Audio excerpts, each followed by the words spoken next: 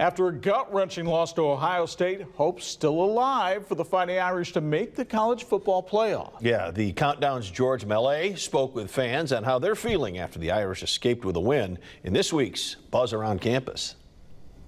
We hit the Notre Dame campus on a brilliant fall Friday and quickly found a fully confident Mark LeBeau. I'm feeling fantastic. You know, obviously, uh, we had a lot had a lot of night games lately. It's been a little you know discombobulated, but I think we're right on track to for a good win. Louisville 25, not a problem.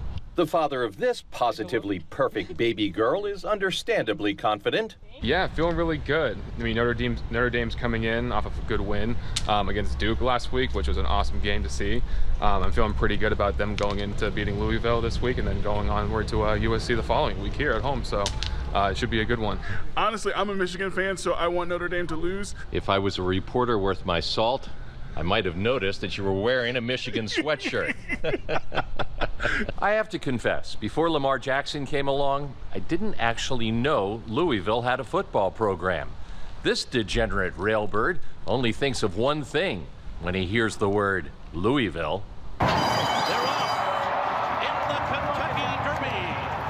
Turns out Eleanor Hanson is nearly as horse obsessed as this reporter. Yeah, there's Churchill Downs, there's lots of good bourbon, a big horse girl. That's what I pay attention to. you, you and I are like minded then. Yes. So. Giddy up for Countdown to Kickoff. This is George Mallet.